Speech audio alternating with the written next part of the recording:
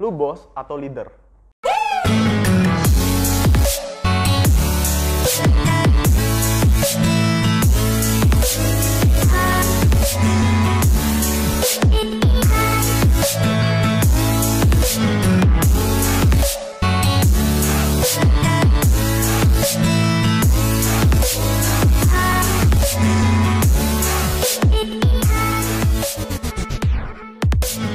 Halo Sobat Milenial, perkenalkan nama gue Richard dan di video kali ini gue akan menjelaskan apa sih perbedaan dari seorang leader dan seorang bos.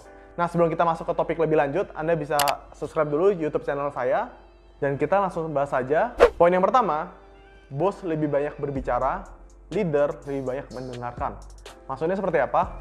Biasanya pada sebuah meeting atau sebuah diskusi, bos tuh hanya pinginnya ngomongin seperti ini.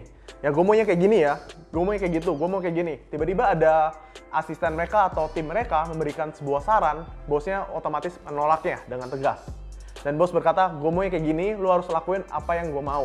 Sementara seorang leader tidak hanya aktif berpendapat atau memberi masukan, tetapi juga mendengarkan masukan dan pendapat dari banyak orang, terutama tim-timnya dia juga.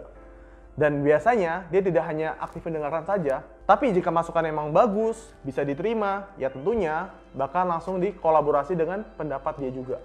Jadi dalam mengambil sebuah keputusan, ya kita tidak patokan hanya keputusan dari seorang bos, tapi ini adalah hasil dari keputusan dari diskusi bersama dengan tim-timnya. Itu adalah seorang leader.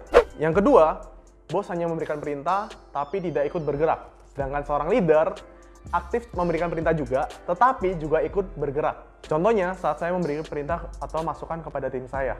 Saya tidak hanya memberikan sebuah perintah saja, tanpa saya juga ikut membantu mereka. Tapi saya juga aktif dalam membantu mereka dan mengarahkan mereka agar project ini atau enggak tugas ini lebih cepat selesai dan tentunya hasilnya akan lebih baik. Ketiga, bos menyalakan, leader mengambil tanggung jawab. Dalam arti, terkadang dalam setiap pekerjaan, dalam setiap aktivitas, pasti dong ada namanya kesalahan. Dalam suatu masalah, atau misalkan nih, omset bisnis lagi turun. Nah, bos tuh biasanya hanya menyalakan, kamu nih harusnya begini, kamu tuh, gara-gara kamu tuh, kita jadi begini, gara-gara kamu tuh, kita jadi begini. Sedangkan mungkin kesalahan tidak hanya terjadi pada timnya dia juga, tapi melainkan bosnya sendiri. Tapi bos pasti mencari namanya kambing hitam, atau enggak orang yang bisa disalahkan.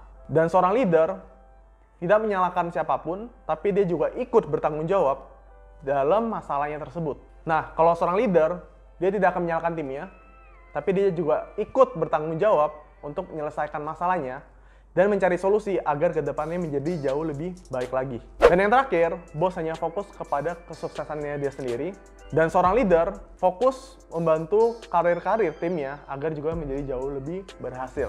Contohnya, saya punya banyak tim di bisnis online saya.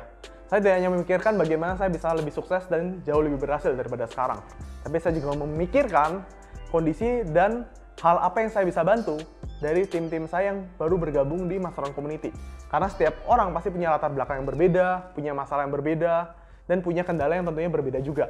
Nah, bagaimana sih agar saya bisa membantu mereka, baik dari training, baik dari bimbingan, dan baik dari ilmu yang bisa saya bagikan kepada mereka agar mereka menjadi jauh lebih berhasil. Dan bersyukur sekali banyak dari tim-tim saya juga akhirnya dari yang latar belakangnya benar-benar dari bawah, akhirnya mereka bisa menjadi jauh lebih berhasil daripada sekarang.